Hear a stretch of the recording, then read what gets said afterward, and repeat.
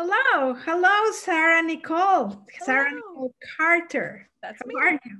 I'm good, thank you. How are you?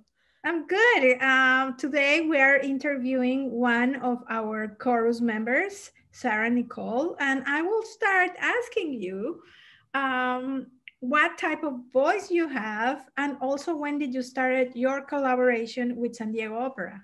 Sure. Uh, I'm a mezzo soprano, so middle voice. I started singing with San Diego Opera in 2015. So my first show was Great Scott, and I was extra chorus for that. And then the next year I became core chorus, and so I've sung with San Diego Opera ever since. And um, I actually though started going to San Diego Opera when I was like seven years old because I grew up in San Diego. So my family took me when I was little and I had season tickets until I went away to college and loved it. So seeing San Diego Opera is one of the things that inspired me to get a degree in it. That's fantastic. How great. Kudos to you. um, second question.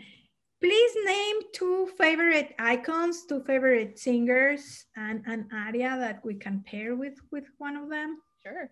Um, it's hard to narrow it down to two. I'm sure anybody else you ask says the same yeah. thing.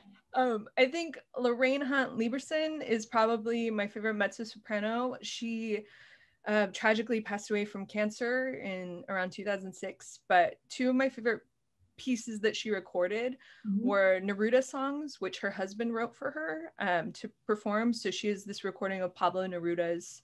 Is um, this um, uh, Peter Lieberson's wife? Yeah, mm-hmm. okay. exactly.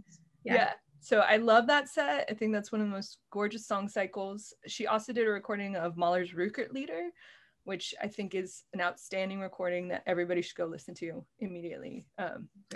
Yeah, so good. And then uh, I love Gerald Finley. He did uh, one of my favorite things he did was Dr. Atomic. And there's an aria at the end of the first act called Batter My Heart, which is based on the John Donne poem.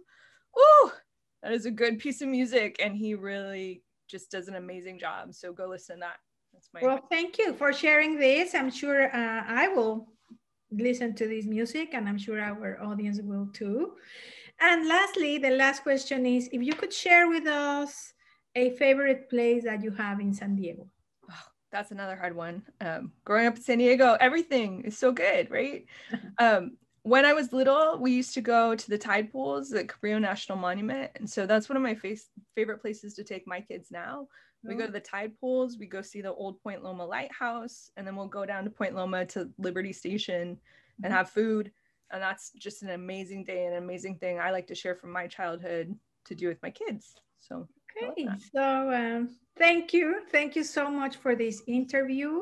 I'm sure, you know, we're going to be seeing you uh, we have some activities going on with the choristers. So uh, thank you, thank you so much. My pleasure, thank you.